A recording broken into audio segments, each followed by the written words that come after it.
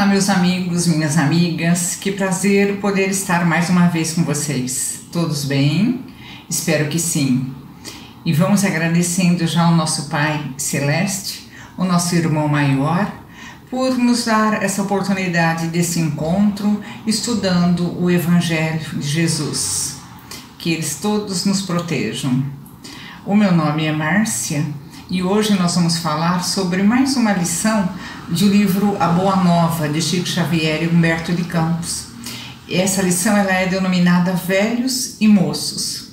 E se hoje nós percebemos o que nós uh, chamamos de conflito de gerações, essa situação ela não é uma novidade não, ela já existia lá no tempo de Jesus porque não era raro a gente observar naquela pequena comunidade daqueles discípulos, daqueles seguidores do Mestre, o entrechoque de opiniões entre os mais velhos e os mais moços, né? Dentro daquele idealismo quente dos jovens, aquela vontade de fazer as coisas, como nós diríamos hoje, meio no atropelo, né? Então, muitas vezes aquele secto humilde, aqueles seguidores ali humildes, eles se dividiam em discussões com relação aos projetos para o futuro. Tanta coisa nova, tanta boa nova sendo apresentada e eles dividiam-se as opiniões né, com relação a esses projetos, a esse futuro. Enquanto Pedro e André, Pedro e André eram os discípulos mais é, velhos, eu não gosto de chamar de mais velhos, eram os mais experientes, vamos assim dizer, né? Então, enquanto Pedro e André, eles se punham a ouvir os companheiros, com a ingenuidade daqueles corações simples, sinceros, né? João, que já era um dos mais jovens, ele comentava os planos de luta no porvir, e Tiago também, novo irmão de, de João, falava do bom aproveitamento da juventude. Nós temos tanto para dar, né? E Tadeu também, um outro seguidor, um outro discípulo, fazia promessas maravilhosas, entusiasmados naquela força da, da juventude, não é? Somos jovens, eles diziam, iremos para a terra inteira, para o mundo todo pregaremos o Evangelho para todas as nações. Nós temos tempo, nós temos disponibilidade para isso, com toda aquela característica né, da juventude, empreendedores querendo fazer sempre mais. Né? Renovaremos o mundo. Então, eles tinham intenções boas, não é? Tão logo Jesus assim permitisse, eles sairiam da Galileia. Tiago, Tadeu, João, que eram dos discípulos mais novos, né? Então, tão logo Jesus permitisse, eles sairiam da Galileia, pregariam as verdades do reino de Deus naquela Jerusalém todinha que era atulhada aquela época de preconceitos, de falsos intérpretes do pensamento divino. E eles estavam estimulados, encorajados com toda aquela força da juventude a renovar, a promover essa renovação, né? levar esse pensamento novo. Eles sentiam-se fortes, sentiam-se dispostos a tudo, respiravam a plenos pulmões e supunham-se os únicos discípulos habilitados a traduzir com fidelidade os novos ensinamentos, apesar de jovens, mas eles tinham todo esse entusiasmo, né, essa efervescência dentro deles que fazia com que eles fossem estimulados a pregar sim o evangelho ali onde eles estavam e mais longe na medida das possibilidades, na medida da permissão de Jesus. Então, por longas horas, eles questionavam acerca das suas possibilidades, apresentavam as vantagens que eles tinham, debatiam seus imensos, imensos projetos, os jovens, né? E pensavam consigo mesmo nessas rodinhas dos mais jovens, eles pensavam e comentavam, né? Que poderia realizar Simão Pedro. Simão Pedro já tinha uma certa idade, era um dos mais velhos, eles eram chefe de família, ele estava lá encarcerado naqueles pequeninos deveres, ele tinha obrigação para com a família, como que ele podia se desprender, ir para um lugar distante, né? E juntando a tudo isso, tinha a idade, ele já estava com uma certa idade. Nós não, nós não temos assim nenhum compromisso, nós poderíamos levar essa boa nova para o mundo todo, né?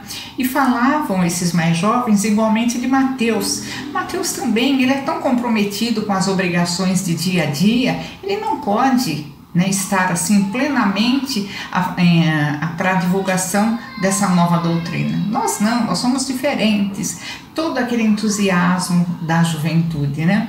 Então André e o irmão que eram mais é, um pouco mais velhos, mais experientes, eles escutavam sim esses mais jovens despreocupados. Eles entendiam, na é coisa da idade. Então eles escutavam o André e o João despreocupados e o Pedro, desculpe, despreocupados. Meditavam nas lições de Jesus. Mas tinha um que ficou meio humilhado, não é? Simão, que mais tarde ele ficou conhecido como sendo Simão o Zelote, era um antigo pescador lá do lago, que acompanhava essas conversações. Ele não conseguia reagir como André e o irmão, não entendendo que aquilo era coisa da idade. Ele se sentia humilhado. Nossa, eu estou sendo preterido, não é? Ah, eu não tenho mais forças, eu não tenho mais condições, eu não posso mais servir ao Mestre, a Jesus. Então ele se sentia humilhado. Ele era mais velho né, do que os companheiros, as suas energias, ao seu ver, já não se coadunavam com aqueles serviços do Evangelho, aquela disponibilidade de horário, aquela disponibilidade física para você percorrer uma certa distância para levar essa palavra nova, não é?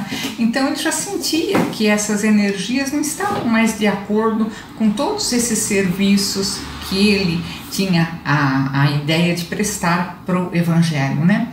E ouvindo aquelas palavras fortes dos mais jovens, né? Não, nós podemos, nós temos disponibilidade, nós temos vitalidade, nós temos todo o tempo do mundo. Então, ouvindo as palavras fortes daqueles mais jovens, ele perguntava para si mesmo, né? O que seria de todo o seu esforço singelo junto de Jesus? Ele estava fazendo possível, mas entendia que ele já não podia fazer grandes coisas. As outras pessoas mais jovens poderiam muito mais. Então ele começou a ficar, desanim ficar desanimado e se sentir humilhado perante esses mais jovens, não é? Começava assim a sentir mais fortemente o declínio das forças vitais, não é? Já foi atingindo certa idade, então esse declínio da, das forças vitais ele foi percebendo. Ele sentia que as suas energias pareciam descer de uma grande montanha. Mas, embora o seu espírito se conservasse firme e vigilante no ritmo da vida, mas ele não não podia colocar toda essa firmeza em ação pela pouca vitalidade do seu corpo físico, né? E certa vez, então, impressionado com a vivacidade daqueles mais jovens, ele procurou entender-se com o mestre, buscando eliminar essas dúvidas que doíam, roíam o seu coração, né? Encontrando-se com Jesus, depois de expor os seus receios, as suas vacilações, todos esses titubeios, ele observou que Jesus estava olhando para ele, fitava para ele sem nenhuma surpresa, como se tivesse pleno conhecimento de tudo o que se passava no coração, lá no íntimo do Simão, o Zelote. Né? Ele ficou até é, surpreso também. Nossa, eu estou é, abrindo meu coração e Jesus está plácido, passivo, não mostra nenhuma. Uh, atitude, não é? Porque Jesus já sabia exatamente, antes mesmo que fosse procurado pelo Simão, ele já sabia exatamente o que ele ia falar, já tinha uh, uh, percebido pelas atitudes de Simão, já tinha penetrado no coração de Simão e sabia exatamente o que ele estava sentindo, né? Então, para Jesus, esse desabafo do Simão não foi surpresa nenhuma, não é? Então, uh, Jesus respondendo para Simão, disse com carinho desvelado, né, com toda a gentileza possível: Nós, Simão, poderíamos acaso perguntar a idade de nosso pai? Por que você está preocupado com a sua idade, se achando velho, né? se achando idoso, mais experiente do que todos os outros, com poucas forças? Né? E se poderíamos acaso perguntar a idade do nosso pai? Né? E se fôssemos também contar o tempo naquela ampulheta das nossas inquietações humanas, quem seria o mais velho de todos nós? Eu, você, aquele mais novo que está com toda aquela vitalidade, com toda aquela pretensão de levar o evangelho aos quatro ventos, achando que tem toda a força do mundo, não é? Tem sim, mas precisa também do conhecimento, do preparo, né? A vida, continuando Jesus explicando para Simão, Simão Zelote, a vida, na sua expressão terrestre, é como uma árvore grandiosa. Essa comparação eu achei muito válida, né? Então, a vida, na sua expressão terrestre, é como uma árvore grandiosa. A infância, todos nós passamos, né? É a ramagem verdejante. A mocidade se constitui de flores perfumadas e formosas. Tudo tem o seu tempo, não é? Olha, tudo é gradativo. E a velhice, Simão, é o fruto da experiência e da sabedoria. Né? Olha, Simão já era o fruto, já tinha passado por outras transformações, por outros períodos. Ele já estava nessa fase do fruto. E quer coisa melhor do que nós termos um caminhar e produzirmos alguma coisa boa, alguma coisa saudável, não é? E Jesus continuando nessa alegoria com a árvore, né? Há ramagens que morrem depois do primeiro beijo do sol. E realmente, não é? E flores que caem ao primeiro sopro de primavera, não chegam a atingir o fruto, não é? O fruto, porém, é a bênção do Todo-Poderoso como Jesus dissesse para Simão: sinta-se abençoado. Você já passou pela fase da ramagem, da infância, você já passou pela mocidade, a época das flores, você já está na época dos frutos, na época da realização. É uma bênção de todo Todo-Poderoso ter chegado aonde você chegou, né? Colocando Simão para o alto, para cima, né? A ramagem, continuando Jesus, é uma esperança. A flor, uma promessa. O fruto é a realização. Sinta-se realizado. Você está no momento certo, no lugar certo e tem a sua, as suas coisas certas que só competem a você fazê-las, não é? Só ele, esse fruto, contém o doce mistério da vida, cuja fonte se perde no infinito da divindade.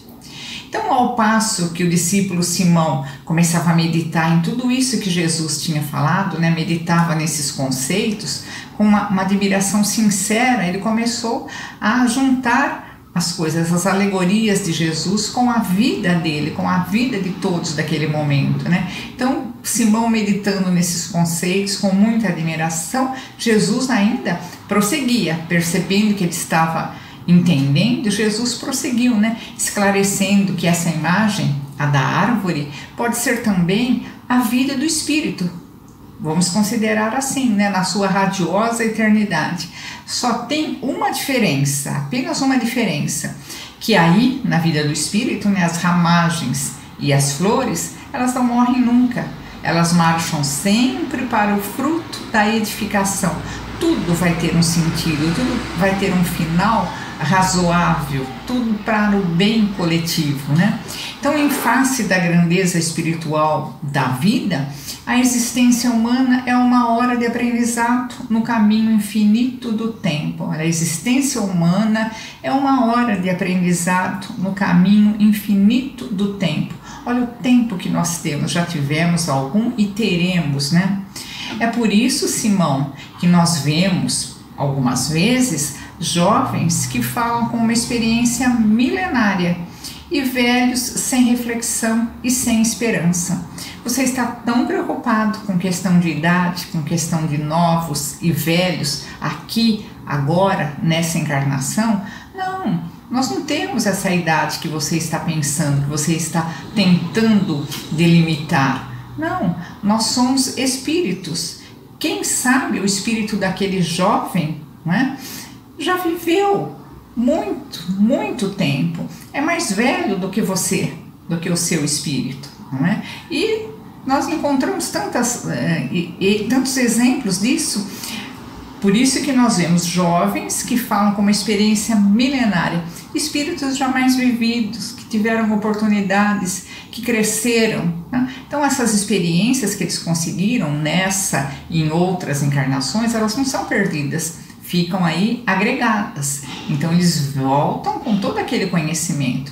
E nós vemos também velhos, né, pessoas já mais experientes, mais idosas que falam sem reflexão, desesperançados. São espíritos mais novos, ainda estão nos primeiros degraus, estão começando a caminhar, não é? estão aprendendo, embora já tenha uma, um, uma vivência, mas ainda é muito pouca como espírito. Precisam ainda de outras experiências para ir conquistando essa sabedoria, essa experiência que nós não perdemos nunca, né?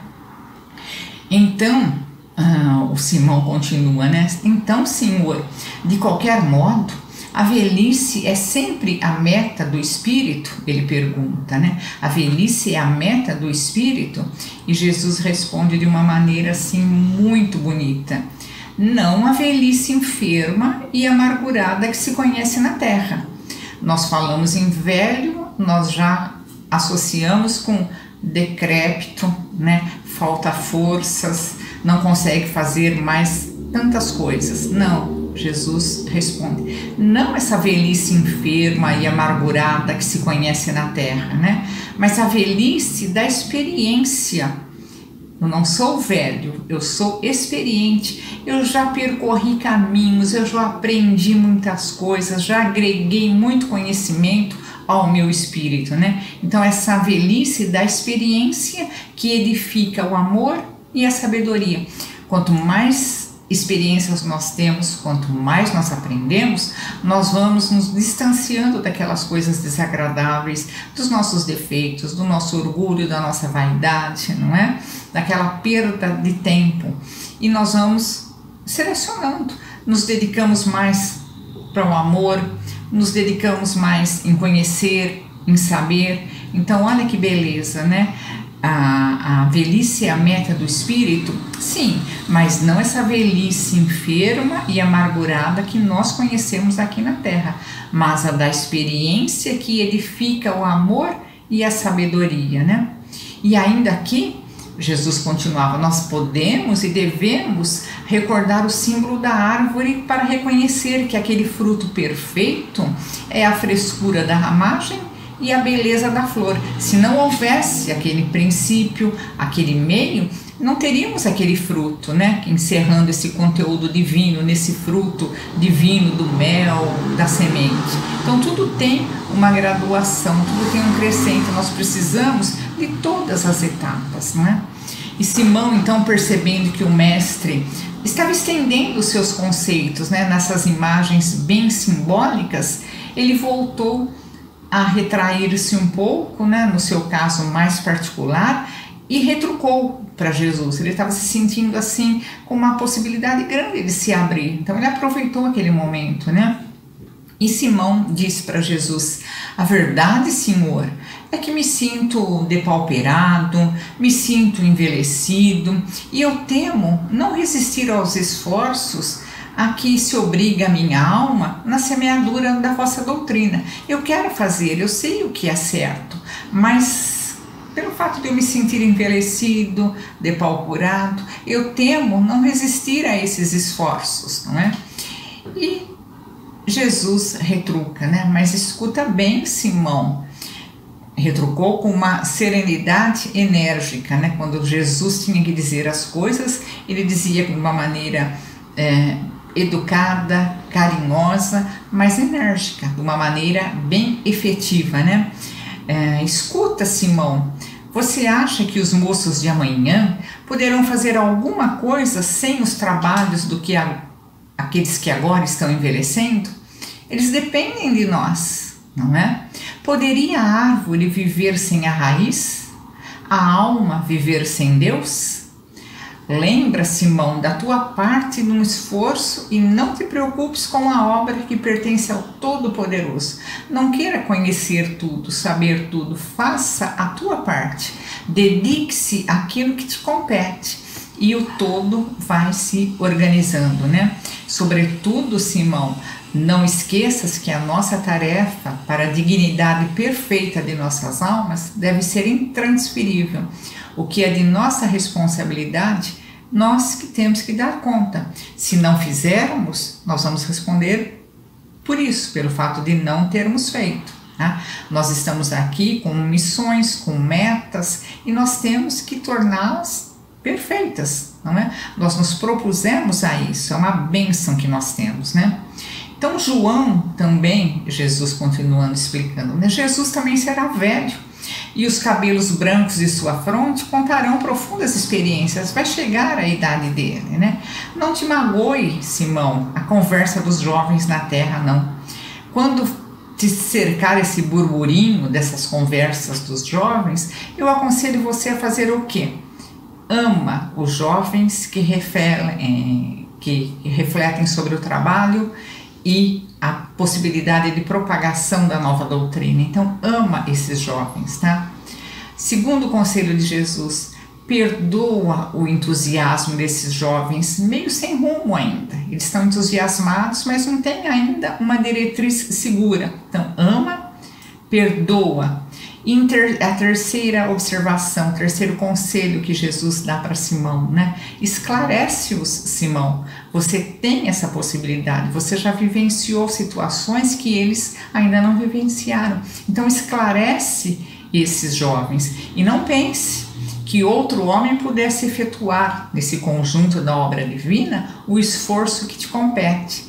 O que é seu, você tem que fazer. Então, olha, ama, perdoa esclarece, eles precisam da sua experiência, né?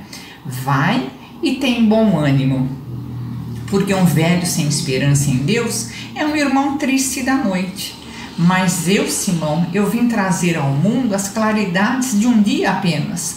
Olha o que nós temos ainda para aprender. Jesus disse que veio trazer as claridades do mundo de um dia apenas o que nós temos ainda para perceber essas claridades? Quanta coisa boa está aí por vir, né? E Jesus terminou então os seus esclarecimentos e Simão, o zelote, retirou-se satisfeito. Ele estava assim mais, né, revigorado com tudo aquilo que Jesus tinha dito, né? Recebeu uma energia nova assim. E voltando lá para sua casa, ele encontrou o Tiago. Esse Tiago era o filho de Cleófas encontrou Tiago falando aí à margem do lago com alguns jovens, apelando para suas forças realizadoras, né?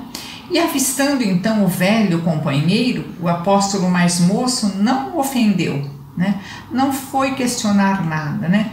Porém, ele fez uma alusão à sua idade para destacar aquelas palavras aos companheiros pescadores, né? E Simão, no entanto, se lá atrás ele se sentiria com esse comentário alusivo à sua idade, ele se sentia humilhado, como ele foi se queixar a Jesus, né?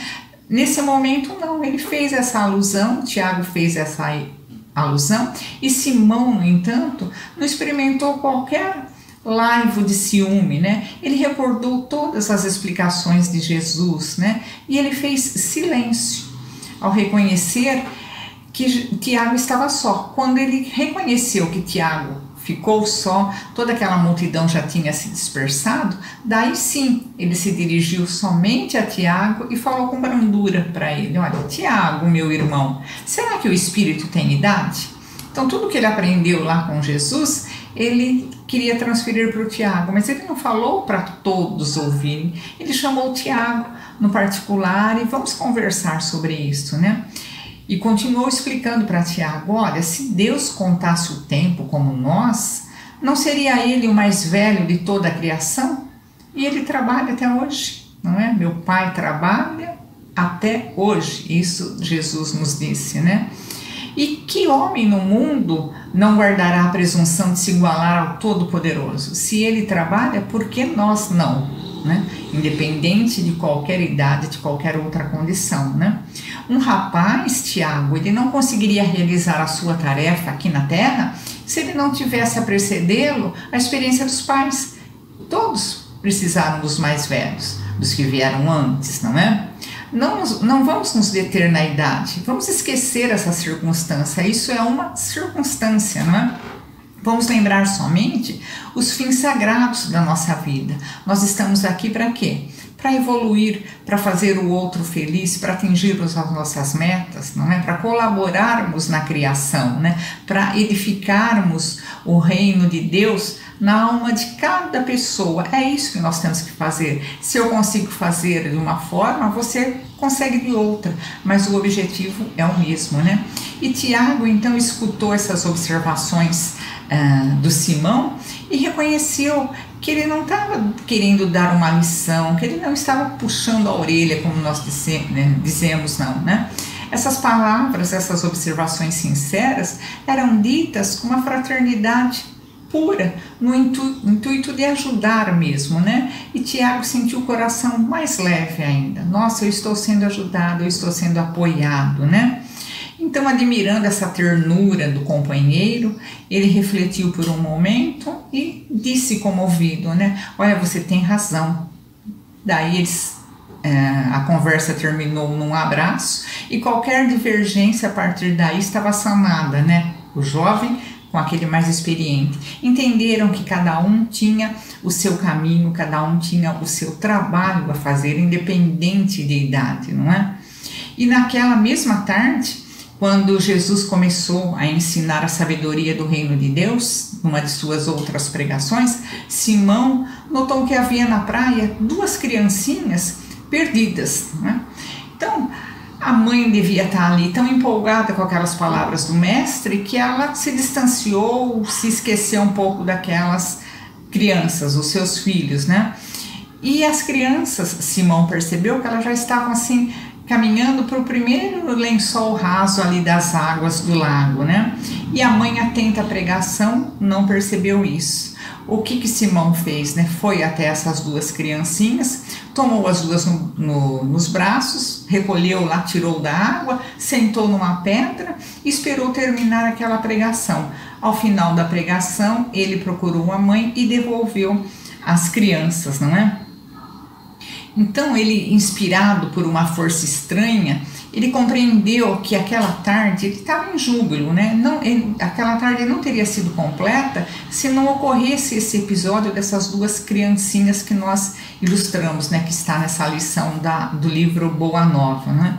Então Jesus deu a oportunidade de Tiago, de Simão, desculpem, além de estar ali presente na pregação, aprendendo para poder transmitir, de efetivamente agir, salvando aquelas duas criancinhas. Então, ele, com toda a idade, talvez um jovem estivesse tão absorto na pregação que não percebeu ao redor. E Simão, pelo fato de ser mais experiente, ele conseguiu perceber: olha, tem perigo, eu vou lá e vou tentar resolver a situação como resolveu, né? Ele se sentiu alegre, útil, fiz uma coisa muito boa. Sem a minha interferência, essas crianças podiam ter morrido, né? E Simão nessa noite ele tem um sonho, um sonho glorioso, né? Ele adormecendo de consciência assim bem leve, ele sonhou com Jesus num cume do monte.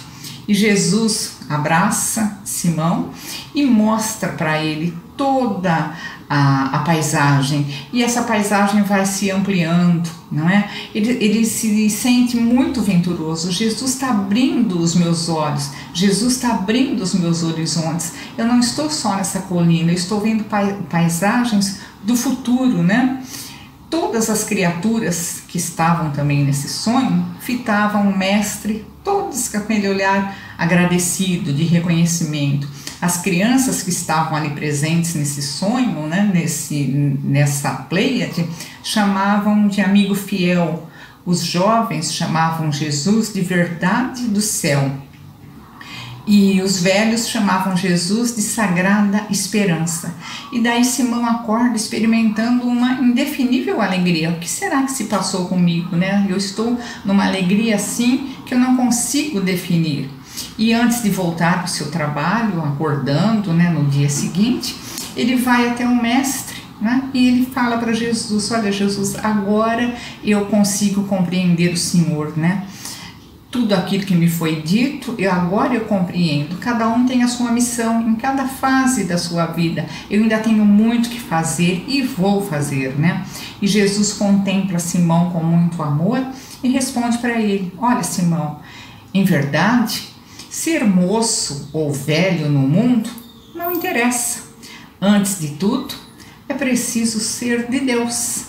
Então, vamos seguir esse conselho de Jesus. Sejamos então de Deus, velhos ou moços, não importa, não é? Antes de tudo, é preciso ser de Deus. Sejamos de Deus. Até a próxima, um abraço para todos. Boa tarde a todos. É, vamos agradecer esse momento né, de estudo da nossa palestra aqui, que possamos enriquecer um pouco mais nossas almas, né, nossos espíritos, no prol de nossa evolução. E, primeiramente, agradecer a Deus, né, a Jesus, nosso Mestre, pela oportunidade de estar aqui presente, estar podendo aqui ouvir um pouco, né, absorver esses conhecimentos e que possamos, através né, desses estudos, melhorar nosso espírito, né, nossa caminhada, reforma íntima, evolutiva, e que possamos, sobre a bênção do nosso Mestre Jesus, né, dos Espíritos amigos, adquirir paz, tranquilidade, força, coragem, né, para suportar as dificuldades no momento que estamos vivendo. Que possamos seguir em paz e amor. Que assim seja. Bom, o tema, né, separado para o nosso estudo de hoje aí, é uma frase, né, lá do livro de Mateus, na verdade, né? Bem-aventurados são brandos e pacíficos, né? Na verdade, o Sermão da Montanha. Mais especificamente, a paciência, né? Que é um tema interessante, bem amplo para se estudar, porque a gente associa brandos e pacíficos, né? Com a palavra paciência, bem direto. Só que a gente vai dar um olhar um pouco diferente dessa paciência para a gente interpretar um pouco, né, é, o seu mecanismo de funcionamento e como que isso reflete, né, para a gente. E eu vou começar lendo uma frase lá do livro, né, Os Prazeres da Alma, que é a psicografia, né, de Francisco Espírito Santo Neto para o Espírito Amédio, em que ele diz o seguinte: a paciência é um estado de alma em que a criatura não é atingida pelas inquietações ou irritabilidades, visto que se libertou do desassossego e da agitação do ego. É uma frase profunda, né? se a gente olhar para um primeiro momento, até densa, se a gente for interpretar um pouco o que ele quis dizer. Mas, num primeiro momento, a gente percebe né, que ele fala né, que a paciência está relacionada com inquietação e irritabilidade. É o que a gente está acostumado no dia a dia, né? Uma pessoa calma, uma pessoa paciente, não apresenta esse tipo de características, né? Porém, ele joga aqui um, uma visão um pouco diferente, né? Ela se libertou do desassossego e da agitação, né? Do ego. Então a gente precisa entender o que ele quis dizer com esse ego, né? A gente vai evoluindo, construindo esse conhecimento aos poucos aqui. Num primeiro momento, né, quando a gente pensa em inquietações, irritabilidade, né, o seu oposto, que é a paciência, a gente pensa né, que a gente tem que despertar um certo grau de religiosidade. Porque a gente sempre tem uma imagem de uma figura 100% paciente, que é alguém muito religioso. Ah, o Papa, né, ah, Chico Xavier, é, a Madre Teresa, seja que figura que a gente imaginar, né, você fala, nossa, uma pessoa em volta de tanta bondade, né, de tanta energia positiva, ela é paciente, ligada com algum tipo de religiosidade, né? Seja catolicismo, protestantismo, né? Evangélico, espiritismo, umbanda, o que for, né? Dá essa impressão que se conectar com essa religiosidade, né? É o que vai trazer para a gente paz de espírito. Então, a gente interpreta no primeiro momento, né? Que quando a gente atinge essa essência, né? Desse sagrado, dessa religiosidade, né? A gente começa a perceber né, que a gente está se conectando, né, tendo uma relação íntima com Deus.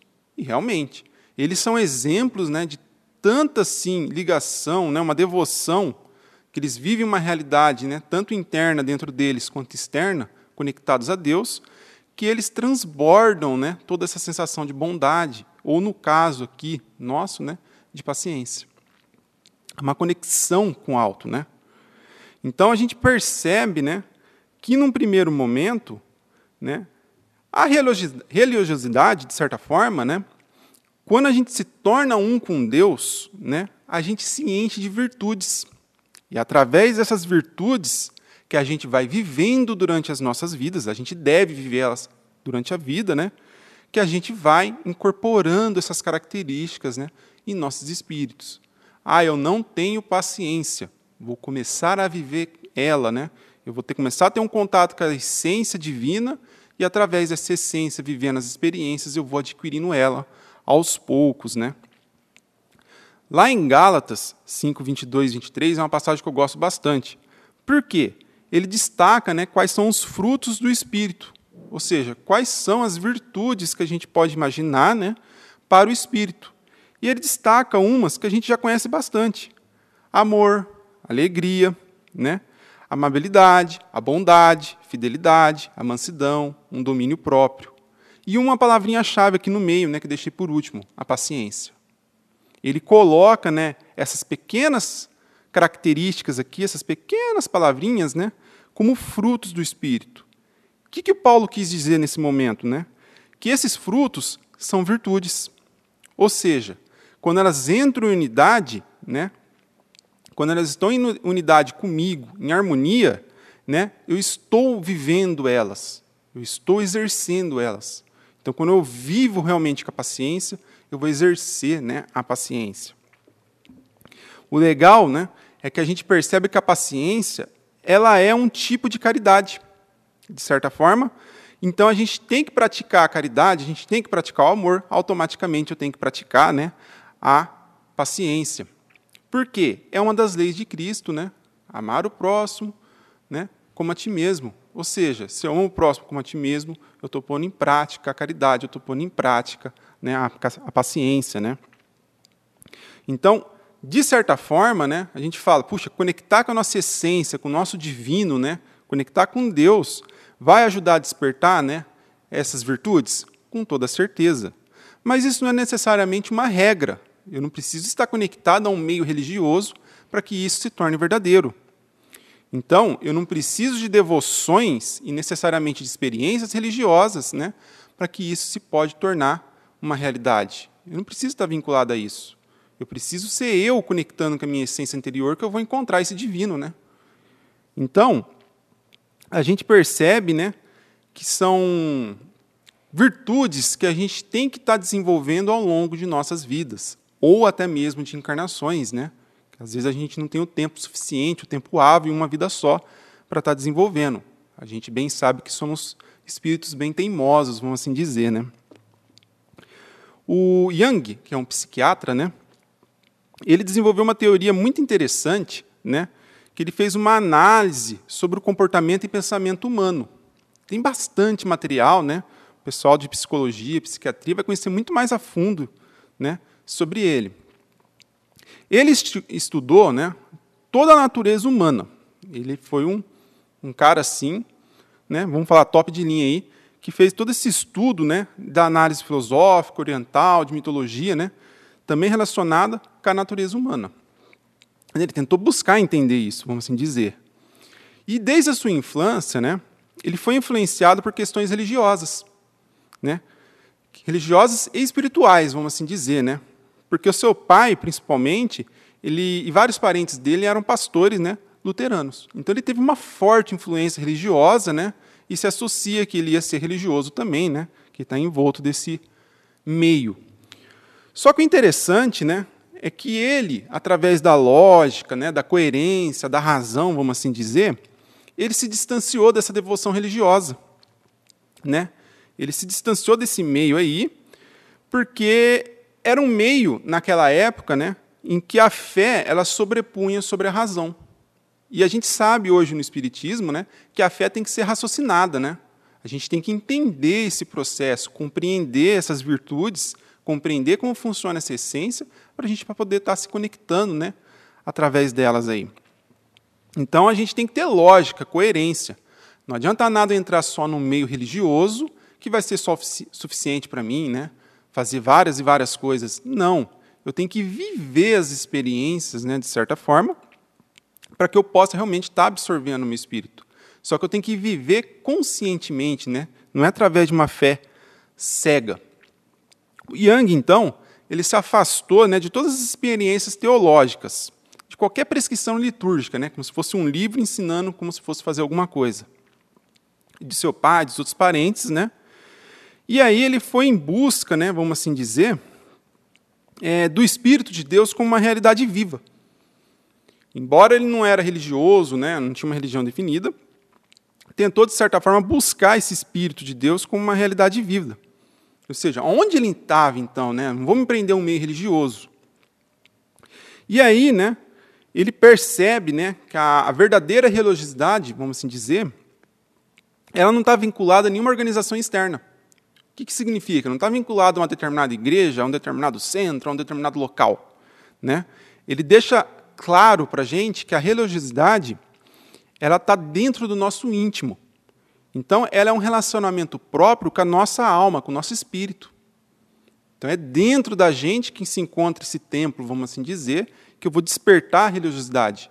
É através dentro da gente, né, por meio de nós mesmos, é que eu vou me conectar com Deus e com essas virtudes e estar tá desenvolvendo né, o meu processo evolutivo, quando a gente olha numa visão mais ampla né, espiritual. Kardec foi outra figura interessante, né? a gente já conhece bastante sobre ele. Né? Kardec ele já deixava claro né, que não há fé inabalável senão aquela que pode encarar a razão. Ele é outro né, que preconizou que a fé tinha que ser raciocinada, né? não tinha que ser uma coisa cega para poder estar tá criticando. Então, ela tem que encarar a razão, a sua fé, né, seu meio de acreditar, independente da época da humanidade. Então, é aquela clássica frase, né? Para crer, não basta ver, é preciso, sobretudo, compreender. A gente precisa entender como isso funciona. Não adianta simplesmente acreditar, achar que é verdadeiro. Eu preciso né, compreender, porque aí sim eu incorporo ao meu espírito esse princípio de funcionamento. E aí eu passo a viver. Lá no Evangelho segundo o Espiritismo, né, capítulo 19, item 7, tem uma, bem, uma frase né, bem interessante. A fé cega não é mais desse século. Ora, é precisamente o dogma da fé cega que faz hoje o maior número de incrédulos porque quer se impor e exigir a abdicação de uma mais preciosas prerrogativas do homem, o raciocínio e o livre-arbítrio. Então a gente sabe, né, principalmente que a gente está vivendo nos momentos de hoje aí, que uma fé cega vai levar as pessoas a abrir mão do seu próprio raciocínio. Né? Ah, eu vou usar uma palavra muito pesada. Quem sabe fazer lavagem cerebral? Ou quem sabe fechar os olhos né, para as questões mais tocantes da alma, que realmente praticar o amor e a caridade, a pessoa se afasta. Ela perde essa liberdade aí. Ela se fecha e acredita que está no meio de fé, que está no meio de religiosidade. Então, a gente se torna, na verdade, incrédulos. Vão ser aqueles que não vão estar praticando boas obras através dessa fé cega. O Yang, por exemplo, né, ele já acredita né, que toda criatura, né, todo espírito, vamos assim dizer, ela tem uma aptidão à transformação, né?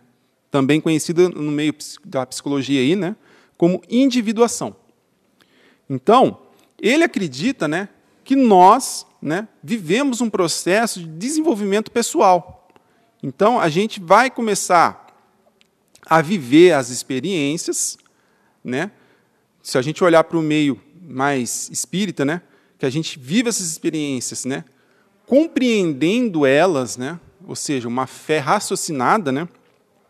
conforme a gente viva, seja experiências felizes, ruins, de transformação, descobrimento, né? E através dessas experiências, desse desenvolvimento pessoal que a gente vai ter, a gente vai começar né, a criar uma personalidade nossa unificada. Ou seja, um ser humano que é indiviso, integrado, único, né? Vamos assim dizer. E aí, no meio da psicologia, é uma coisa interessante, né? Porque ele citou lá no começo a palavra ego, né? E ele fala, né? O ego e o self nosso, né? O self, numa tradução literal próprio, né? Meu eu próprio. Então, meu ego e o self, né? Que eles têm que ter um equilíbrio entre eles. Mas aí a gente precisa entender, mas o que ele quis dizer, né? Ter um equilíbrio, como que isso pode estar relacionado, né? Com tudo isso que a gente está falando. O ego, ele é a manifestação da nossa consciência da nossa identidade. A gente pode traduzir de uma forma bem literal assim, é lógico que é muito mais profundo, né? Tem vários caminhos aí para interpretar é, essa palavrinha.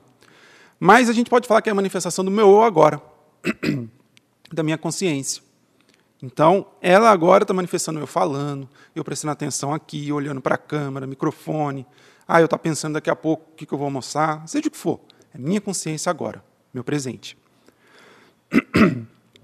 É no ego né, que a gente vai encontrar os mecanismos de defesa né, para lidar com situações da vida.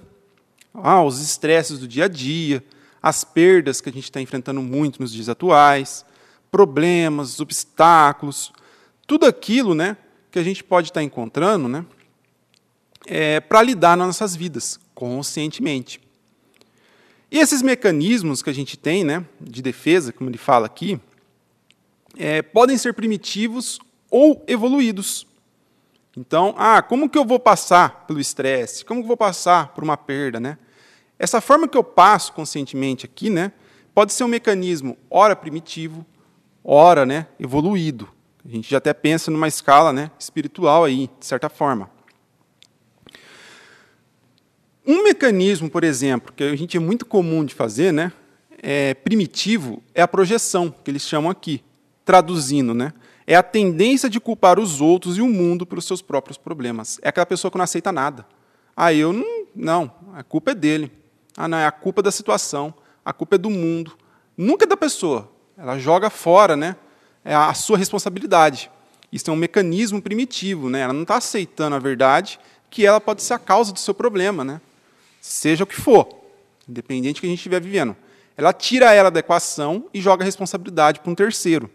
Isso é um mecanismo, por exemplo, né, primitivo, que a gente poderia dizer, e de certa forma que muitos, a gente ainda, né, de certa forma, é, pratica conscientemente e inconscientemente, que já incorpora aí em nossas características.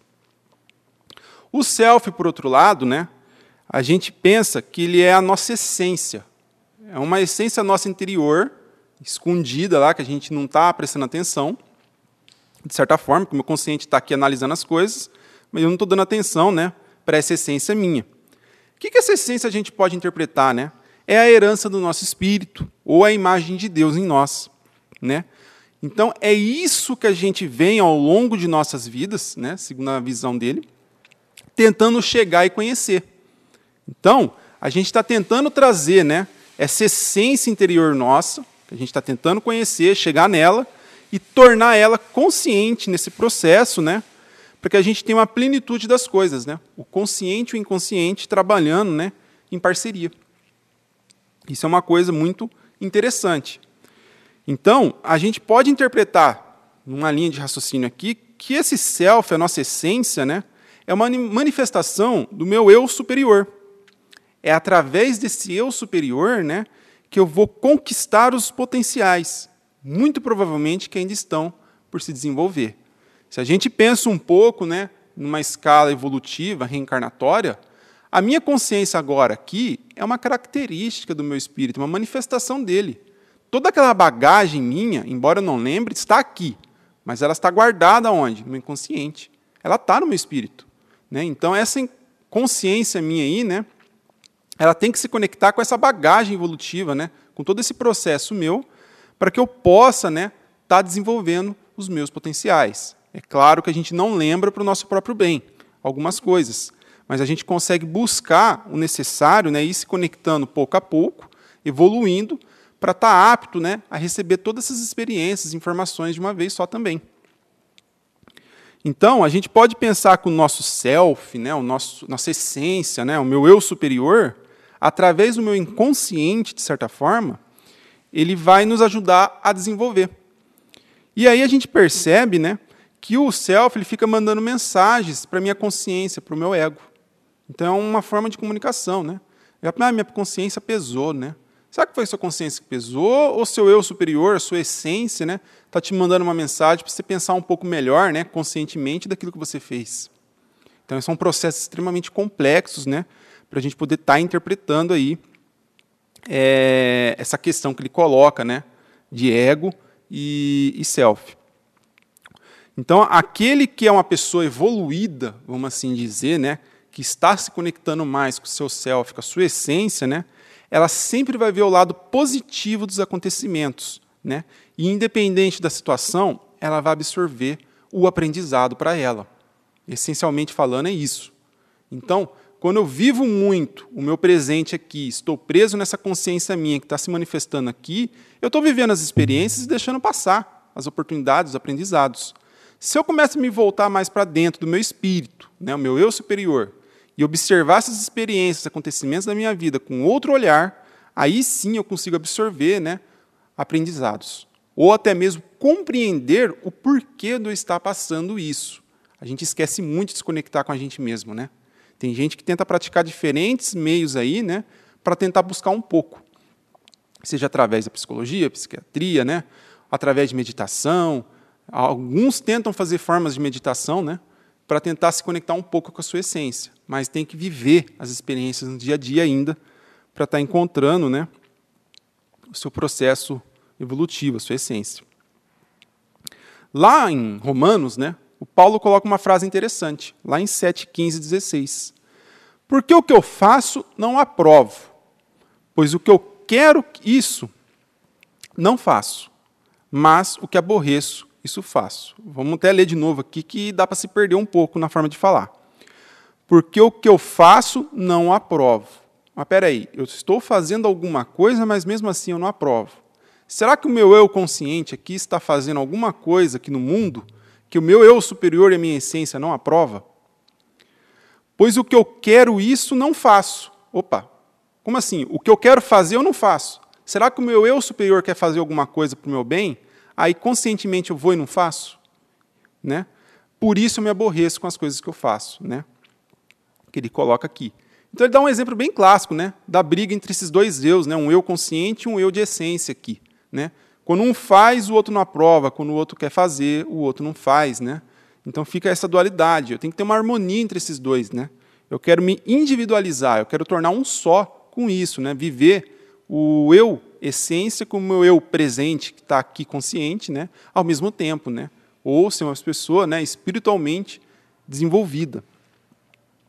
Então, como ele coloca aqui, né, o ser humano só vai se individualizar, né, tomar processo dessa consciência, tomar um processo dessa essência ao mesmo tempo, né, quando o ego dela, que é o seu consciente, né, permitir que as experiências recebidas, que a gente está observando aqui no nosso meio, tornem parte da nossa consciência.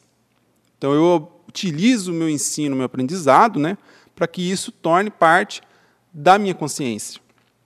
Então, quando a gente se prende muito no meu presente, na minha consciência, e me afasto né, do meu eu interior, vamos assim dizer, a gente vai começar a encontrar pessoas que ficam presas dentro desse sistema ilusório do ego. Elas criam um mundo de ilusão, esquece o seu interior. Vive ele ou joga a responsabilidade para o terceiro, né? E isso acaba levando elas né, a uma situação de muita intolerância. É um extremo da intolerância que a gente pode pensar. Por quê? ela está se afastando da sua essência, ela está se afastando de Deus. Ou seja, ela vai ser aquela pessoa que tem uma fé cega. Ou seja, ela vai ser uma pessoa que não vai entender como as coisas funcionam, o porquê está acontecendo, né? E aí ela vai ter aquela característica de impaciente, né? Uma pessoa inquieta. Quando eu vivo só, né? Através, vivo o mundo, vamos assim dizer, e afasto, né? A minha essência, o meu eu interior, né? Eu nego a existência da divindade dentro de mim, né? eu começo a me tornar uma pessoa impaciente. Eu não entendo o porquê daquela situação difícil, daquele estresse, né? Eu começo a me irritar, ficar com raiva, começo a ficar com ódio. Eu vou vendo portas, né, para outras características aí que vão pesar meu espírito, né, a minha alma, né? Raiva, orgulho, egoísmo. Eu começo a me destruir nesse sentido quando eu me afasto, né, da minha essência superior. Então, né, elas vão ser pessoas, vamos assim dizer, que aparentemente parecem ter uma vida impecável. A gente vai ver. Mas por dentro, né, elas vão ser pessoas assim que estão começando a se envolver num meio de podridão. Usando uma palavra bem pesada. Por quê? Ela está se afastando né, do seu eu superior, do seu espírito, da sua essência real, né? E está se tomando consciência somente com as coisas o quê? mundanas. Não se prende a querer melhorar, né? Não se prende a querer crescer. Ela se afasta, se liberta para o mundo de uma forma, né? que não quer né, buscar a evolução espiritual. E ela vai ser mais impaciente. Então, é um sintoma, né? Ah, eu sou impaciente. Será que eu estou conectando com o meu interior, né, minha essência superior, para entender o porquê dessa situação, ou porquê eu estou passando? São reflexões que a gente tem que ir fazendo aos poucos para estar tá incorporando né, essa característica. Né? Elas vão ser um tipo de pessoa que vai ser aquela fase clássica, né? Ela vai ter um padrão de pensamento assim: só eu sei como as coisas são ou devem ser feitas. Só eu. mais nada. Não existe influência de mais nada, né? Esse pesa, né? Só eu vou estar certo. Então, se alguma coisa sair desse padrão que eu estou achando que está certo, nossa, eu vou ficar doido, vou ficar impaciente, vou ficar com raiva, vou ficar com ódio, né? Porque eu estou preso num padrão fechado só para esse ego aí, né? Nessa consciência. Porque eu afastei tudo aquilo que estava em volta, né? Que era o self, vamos assim dizer. Ele ainda vai mais fundo. Se a gente for lá no livro, né, as dores da, a, os prazeres da alma, né, ele fala, né, que o fanatismo, agora ele pega pesado, é o filho preferido do ego. Então, né, a partir do momento que eu me entrego, né, a viver só para o ego, né, eu começo a ter uma adesão cega de qualquer sistema ou doutrina. Então, ele joga uma palavra pesada, fanático. Por quê? Eu vou me irritar facilmente com tudo aquilo que possa ser contrário ao que é o tradicional, o que é imutável, o que é verdadeiro. Eu me irrito fácil, eu me entrego fácil a essas paixões. Então, ele até usa a palavra, ser fanático porque é filho do ego, né? Independente da área, tá? Quanto sociedade, religião, política, né? É, eles vão começar a exigir de si mesmos e até dos outros comportamentos, né? Para que tudo possa estar andando dentro dos conformes. Uma vida puritana, né? como se fosse uma vida muito pura, de retidão, né? Por quê? Ele vai tentar compensar, né, qualquer manifestação do eu superior da sua essência. Ele vai tentar esconder qualquer desejo reprimido dele, né? Ele vai tentar de forma inconsciente, né, ou não, né, mudar o mundo exterior e interior dele. Ele vai tentar forçar isso. E isso aí vai espanando ele, né, aos poucos, porque ele não vai aguentar, não tem paciência para isso, ele é impaciente. Quando a gente se conecta com a nossa essência superior, que é o self, né, a gente começa a viver sim as necessidades do presente, do agora, né? Mas a gente vive analisando, né? Uma análise até criteriosa, né? Porque a gente quer conhecer, quer entender, quer aprender é, as pessoas, os fatos, os acontecimentos. Então a gente começa, né, a entender nesse sentido aí que eu estou vivendo meu presente, mas prestando atenção em cada detalhe. Por que aconteceu com aquilo com a pessoa? O que levou ela a fazer aquele comportamento comigo? É, por que daquela situação? Por que daquela doença? Por que não sei do quê? Eu começo a questionar o porquê e buscar entender esse acontecimento, mas viver no meu presente. Então, pessoas que tentam se conectar né, com o seu eu interior, vamos assim dizer, com a essência divina, né, elas sim né, exercem paciência, elas têm reflexão, né, da sua consciência ao mesmo tempo, para elaborar né, é, cogitações sobre a vida e sobre si mesmo. Então a gente percebe né, que ela vai fazer um exame muito calmo, muito paciencioso, né, reflexão assim, através da sua consciência, né, para entender né, tudo sobre a vida, sobre si mesmo. Aquela clássica fala, né, autoconhecimento. Por eu estar sintonizado né, com o meu eu, eu mesmo, né, o meu self, como ele diz aqui, eles sim vão ser espíritos, né? pessoas que conquistaram uma fé raciocinada e alicerçada onde? Em paz de espírito, razão, coerência. Então ele encontra a verdadeira paz, né? Ele não vai ser aquele espírito inquieto, ele entende né, o porquê das coisas. Ele está buscando entender, ele quer crescer com isso. Então ele exerce né, a paciência. Quando a gente pensa né, em eu superior, self, tem várias palavrinhas para isso, né? essência, a gente tem que pensar que ela está conectada com a natureza. A gente né, é um instrumento que também né, que está moldando a natureza, mas somos estamos presentes na natureza. Né? Então, se a gente se entrega ao ego, vamos assim dizer, né, a nossa impaciência, vamos assim dizer, desequilibra os processos internos e externos da natureza dentro de nós a gente desequilibra. Se a gente cede para a impaciência, né? E aí a gente fala, puxa, né? O ser humano, então, mas por que ele está conectado com a natureza, né? Ele é conectado com a natureza porque a natureza ela evoluiu toda a vida desse planeta aqui, né, a Terra, ao longo de bilhões e bilhões de anos. Até o surgimento do planeta, até a existência do ser humano mais recentemente, né, a gente vê que esse processo é longo, é árduo, a gente nem consegue conceber direito uma vida de 100 anos, né? imagina bilhões. Então a gente vê que a, a natureza é paciente. E a gente é fruto dessa natureza. Então a gente tem a semente da paciência dentro da gente. Se eu me afasto da natureza, ou seja, da minha essência, eu me afasto dessa paciência, eu me torno inquieto. Então, o ser humano é a própria natureza, vamos assim dizer, né, adquirindo consciência de si mesmo. A gente é uma espécie né, que tem consciência das coisas, diferente dos outros animais.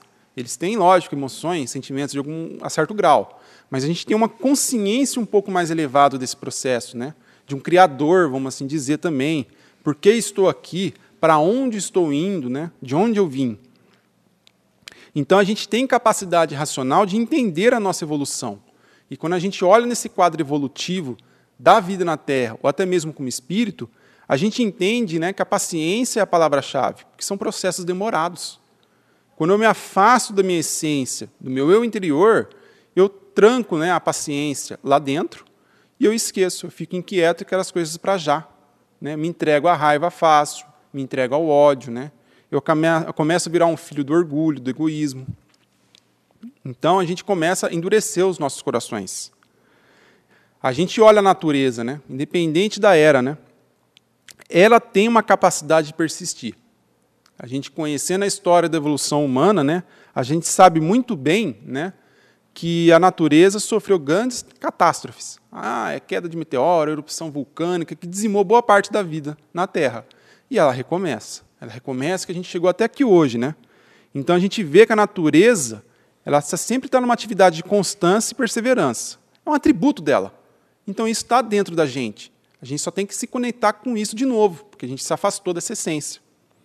Então, né, a gente precisa sim né, aprender a ter a habilidade de equilibrar e realizar as tarefas né, numa silenciosa quietude, como ele coloca aqui. Ou seja, né, a gente tem que afastar da gente é, a afobação, né, a pressa, né, a impaciência, que às vezes em alguns minutos pode destruir tudo aquilo que levamos alguns anos para construir. A gente tem que estar sólido em eu mesmo, né? A gente tem que estar sólido, conectado dentro da gente, com a nossa essência. Então a gente tem que suportar com calma tudo o que acontece em nossa existência. Calma, paciência, né? A gente tem que aprender a refletir, a gente tem que aprender, né, a decifrar as mensagens enigmáticas que sejam através da gente, que é o nosso processo, né, a linguagem da evolução nossa. Ou seja, tudo que acontece comigo, eu tenho que aprender a entender, né? E isso chega para a gente, né? Através de nossa inconsciência, através do self. Então eu tenho que voltar a me conectar, né? Com o meu eu interior, meu eu superior, para começar, né? A aprender e refletir sobre aquilo que está acontecendo comigo, em grau, né? Evolutório.